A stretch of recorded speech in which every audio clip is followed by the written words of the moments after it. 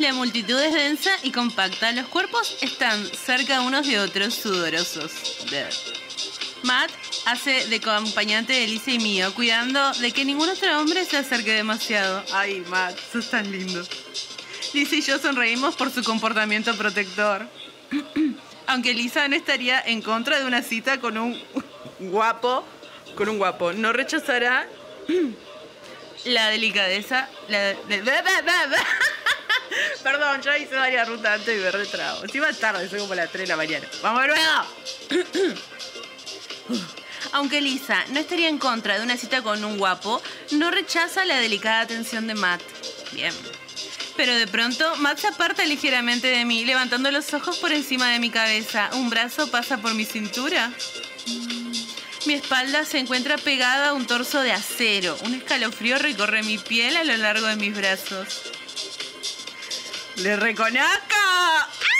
¡Seguramente es No sé por qué, pero no necesito voltearme. Su perfume invade mi olfato, su contacto me es familiar, como si encontrara a alguien a quien conozco desde hace mucho tiempo. Me dejo acunar con su abrazo, su aliento me pincha la oreja y la nuca. Hola, cariño. Ay, es tan lindo, aunque no me gusta el sombrero. Hola, guapo. ¿Qué haces aquí? Colin me ha invitado a tomar una copa. No pensaba verte esta noche. Espero que sea una buena sorpresa. ¿Tú qué crees? Me coge más fuerte, dejándome casi sin respiración con su abrazo. Mis dedos se deslizan alrededor de su brazo para mantenerlo cerca de mí. ¡Ay, tan lindo! Pinche seducirle. Estoy muy contenta de verte. No te haces una idea de lo que me gusta a mí y tu manera de bailar me vuelve completamente loco. ¡Me muero! ¡Bésalo! Ahí, no hay otra. Y ¡pum! Beso. Listo. No soy tan provocativa. Me parece que necesitas muy poco. Mi, tono suave y seductor le arranca un gruñido contra mi nuca. Me acerco más a su torso. Su manera de cogerme de vuelta más cariñosa, más salvaje. A coger es otra cosa. Mis caderas están apoyadas en las suyas. ¡Epa!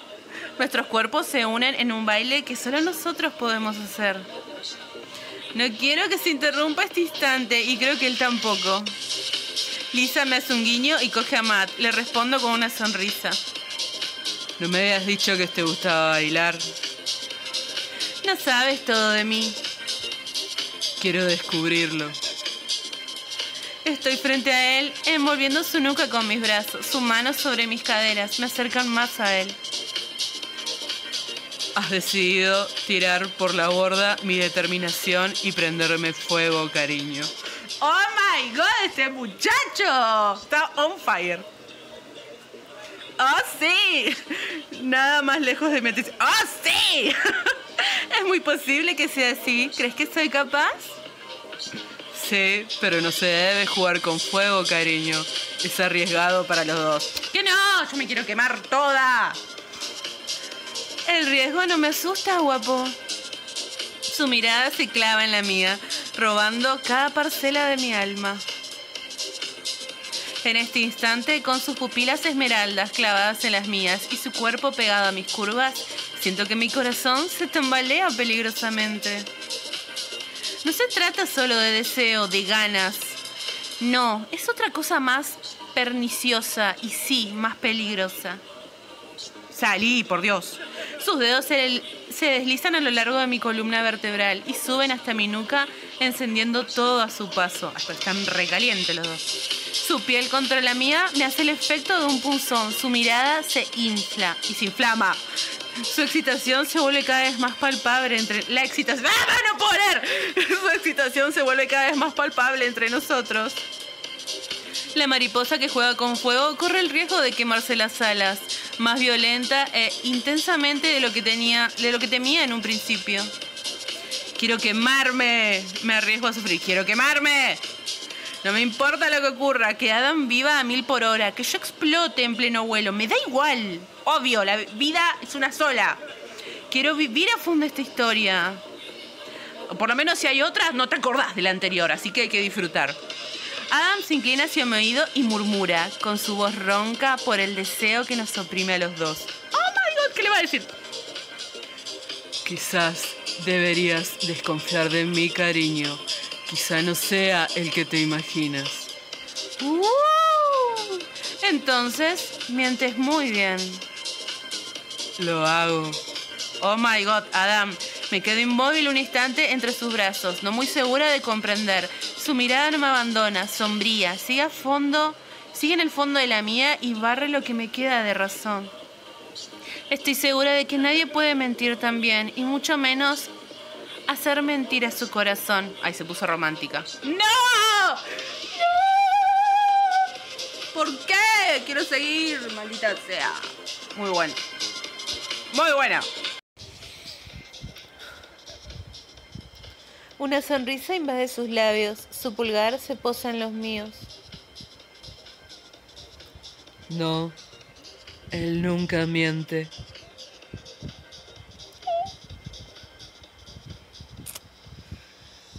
Terminaron en la cama esa noche?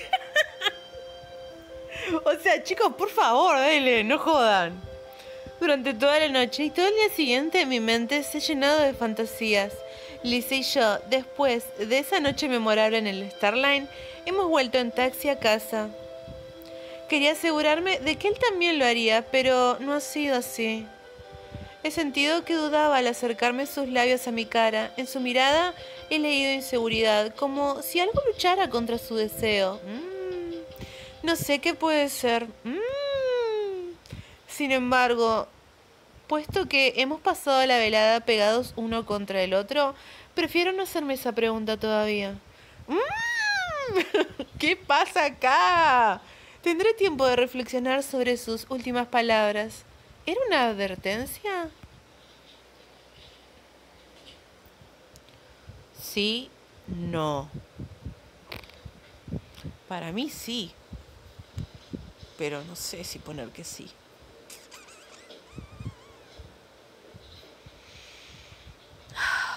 Voy a poner que no. ¿Por qué diablos tendría que desconfiar de él? Es adorable, ¿verdad? Mm. No. Más tarde, Rinco. Deja de pensar. ¿Tienes trabajo? En mi mesa se acumulan los informes. Gabriel, mi, jefe, no es nada tacaño con las tareas que me han cargado. Matt también se ahoga bajo tantos folletos con el lápiz de su tablet en la mano. Me sacudo e intento concentrarme, pero el recuerdo del contacto ardiente del cuerpo de Adam contra el mío me obsesiona. De pronto recibo una goma en la frente. Levanto la cabeza y suelto un gruñido. Más te echa a reír, orgulloso de su tontería. Tienes rojas las mejillas, Rinco. Me pregunto en quién piensas. Seguro que no tiene que ver con la próxima campaña de marketing. Respondo siempre. Me preguntaba cómo voy a estrangular a mi compañero demasiado curioso sin atraer la atención de los demás. Venga, princesa, no pensabas en mí. Pensabas en tu baile pegado al batería de un grupo metal que está de moda. Dime que me equivoco y te prometo tirarme de lo alto del edificio. lo amo. Me burlo me burlo de él. Y las dos cosas son lo mismo. ¿Qué sé yo? Me burlo. Eso es muy tentador. No oír más tus horribles monólogos sobre las motos. Dices eso porque nunca te he dejado que subieras a las motos conmigo. Si no, estarías encantada. En tus sueños, quédate con tu máquina. Nos echamos a reír al mismo tiempo. Luego Matt coloca el lápiz en su oreja, posa el codo en la mesa y se inclina hacia la mía. Venga, princesa, cuéntaselo todo a tu tío Matt. ¿Cómo conoces eso? Muy gracioso. Mira que eres... Meto... ¿Qué? Mira que eres metido. No tengo ninguna vida amorosa en este momento. Pero si nunca dejas de tenerlas. Que va, te equivocas por completo. Pobre Matt. Eres peor que una amiga. ¿Tienes senos, por cierto? Matt se muerde el labio para no soltar una carcajada de nuevo. Desabrocha ligeramente su camisa. ¡Ah, Matt! ¿Quieres ver? ¡Lo amo! Sí, Matt, muéstranos todo. No es tu ruta, pero no importa. ¡Asiento! ¡Olvídate! A ver, a ver, enséñame lo que tienes que ofrecer. Tú lo has querido, compañera. Ahora verás. Está a punto de sacar. Eh, está a punto de sacarme la lengua tirando al mismo tiempo de su camisa. Distingo los primeros abdominales, verdaderas ondas de chocolate cuando de pronto. ¡Ay, no! ¿Qué pasó? Casi, Gabriel. Una, ¡Ay, Gabriel! Una pila de informes se desploma ante sus narices. Se sobresalta mientras que yo pongo la mano en la boca. ¡Me muero! Levanto los ojos por encima de la cabeza de Matt y recibo en toda la cara las dos bolas de acero de la mirada de Gabriel. ¿Por qué no aparece? Contengo la risa, no tengo ninguna gana de reír. Contengo la risa, dale. La cara de contrariedad de Matt vale la pena. A pesar de la expresión furiosa de Gabriel, me cuesta contenerme para no echarme a reír. Tengo la impresión de ser un globo a punto de explotar. Si no tienen bastante trabajo, podemos arreglarlo. Bueno, seas mala onda, Gabriel. No parece Gabriel. ¿Qué pasa? ¿Me borraron el dibujo de Gabriel? Y es así como, al final de un pacífico día de trabajo, me encuentro haciendo horas extra en compañía de un Matt con un humor de perros. ¿Por qué pones esa cara? No es la primera vez que tenemos que trabajar hasta tarde. Tenía una cita esta noche con una chica que me gustaba mucho. Bueno, menos mal que no he tenido que ver una imagen que me costaría olvidar. Y si me dices que no lo olvidaría por lo sexy que eres, te doy una patada que te mando a la luna. Matt se ríe con sorna y pasa la mano por su cabello moreno. Se deja caer en la silla soltando un suspiro y después contempla la pila de informes que hay que tratar. La próxima vez, enséñame a cerrar el pico. Como si eso fuera posible. Totalmente. Matt, cerrar el pico, impossible. Como si fuera posible. ¿Enseñarte a qué? ¿Cerrar el pico? Sería como amordazar a un dinosaurio arriesgándose a perder un brazo. Qué poco te gusta el riesgo, princesa. Contigo estoy preparada para todo, pero quiero seguir entera. Echo un vistazo a mi reloj. Son las 20.50, 9 menos 10. Uf. Miro la montaña de documentos que me espera todavía en mi mesa. Suelto un suspiro y digo: Anda, vete a tu cita, Matt. Yo lo haré sola hoy. Eh, ya seguiremos mañana. No, no voy a dejar que hagas mi trabajo. Ya lo harás otro día tú por mí, no te preocupes por eso. Matt parece dudar, mira su reloj y gira la cabeza para admirar la vista a través de los grandes ventanales. La oscuridad se extiende sobre la ciudad de Nueva York, pero Manhattan se ha puesto su abrigo de luz. Las luces de neón tratan con el negro del cielo. ¿Estás segura de que no te molesta? Sí, anda. Sí, estoy segura. Vete a divertirte. La próxima vez te tocará a ti. De acuerdo, Rinco. Los dos ganamos. Te la devolveré. Eres un amor, princesa. Si Adam no cae de rodillas ante ti, yo mismo lo castraré en tu lugar. Vale, te tomo la palabra. Me guiña un ojo pícaro, se levanta y se pone la chaqueta. Gracias de nuevo y hasta mañana. Hasta mañana. Tómate una copa en mi salud. Más de dos, te lo prometo. Su voz suena entre los boxes vacíos del Open Space. Solo quedo yo y mis informes. La noche va a ser larga, penosa y solitaria. Me pongo a trabajar, me quiero rápido. Cuanto antes empiece, antes terminaré y antes podré irme a casa. Esa es la máxima de la noche. Cuando cojo el ratón para encender de nuevo la pantalla que estaba en suspensión, mi móvil se ilumina, anunciándome un mensaje. Lo abro sin esperar. El nombre del emisor aparece. Adam. Mi corazón se pone a latir rápidamente. Mm. Hola, cariño. ¿Qué estás haciendo? Ña. Le provoco estoy dándome un baño con una copa de vino y burbujas como una como única compañía. Rinco, no me digas esas cosas, me va a dar algo.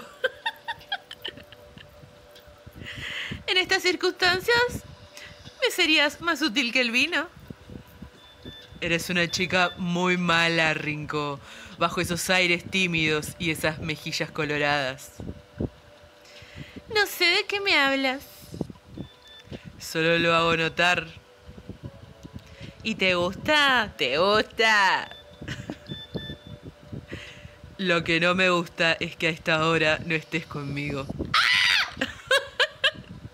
¡Mi piel está ardiendo! Voy a acabar derretiéndome en mi silla. Tengo que trabajar, trabajar.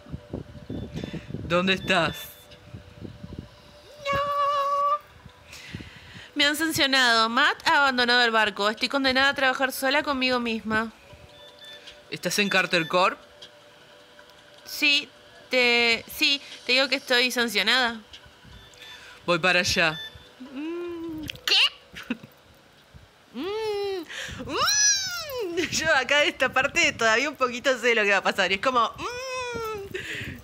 mm, no sé, no sé. Mi corazón se activa, lleno de energía, temblando de impaciencia. Soy una autopista para los en- estremecimientos.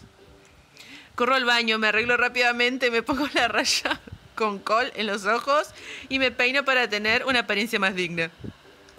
Cuando vuelvo a mi mesa, el móvil suena, lo cojo nerviosa. El guardia de seguridad me informa de que tengo una visita. Enseguida autorizo su ac- acceso. Espero que mi voz no tiemble. Dios mío, debo parecer tonta. Me muevo de un lado al otro en la silla observando las puertas del ascensor y espero que se abran dejando paso al hombre de mis sueños. Mm. O al menos a la máxima expresión de un sueño. ¡No! Quiero saber porque yo soy hasta acá. Hasta acá. Después no sé más. Entonces, shit, quiero saber que algo raro anda, Adam. No confío en él ahora.